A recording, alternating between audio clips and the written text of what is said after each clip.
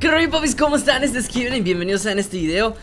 Señores, llegó el día, a dos semanas del lanzamiento de Black Ops 3 Nos han dado la noticia más cruel que podemos escuchar para la antigua generación. Estamos hablando de Xbox 360 y PlayStation 3 y llegó el momento en el que todos estaban dudando de qué iba a pasar, si iba a haber Season Pass y después de todos los recortes que le hicieron a la antigua generación, qué es lo que iba a pasar con Call of Duty. Bueno, señores, ya es oficial, no va a haber Season Pass y tampoco va a haber The Giant. Ok, entonces, señores, básicamente Call of Duty Black Ops 3 es la expansión más pedorra que podemos imaginar para la antigua generación sobre la saga de Call of Duty.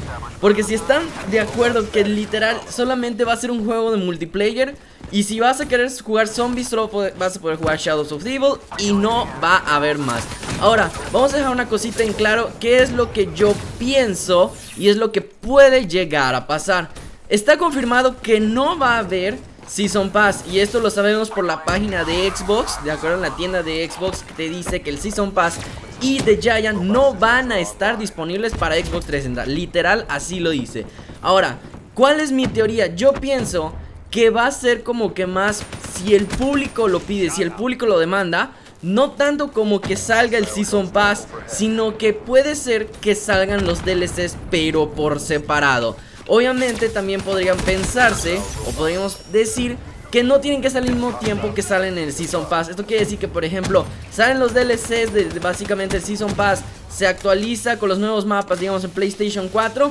Y en la antigua generación, cuando le toquen salir de esos mapas, por ejemplo, el One, que tarda un mes, eh, digamos que podría ser que para el 360 tarde una semana más o dos semanas. O sea, es algo que yo pienso que podría llegar a pasar. Pero lo que sí sabemos es que, chavos, no va a haber Season Pass. Así que quiero que ustedes en los comentarios me dejen ¿Qué van a hacer? ¿Qué decisión van a tomar? Van a tomar la decisión de que si ustedes están en la antigua generación se van a cambiar ya a la nueva generación por Call of Duty o de plano van a decir a la mierda Call of Duty ya no juego esta wea y me quito de las consolas De acuerdo chavos, así que yo quiero ver sus comentarios, quiero ver qué opinan Recuerden que si este video les gustó por la información, regálenme un like. Y mientras tanto, síganme en Twitter para que estemos en contacto, podamos cotorrear.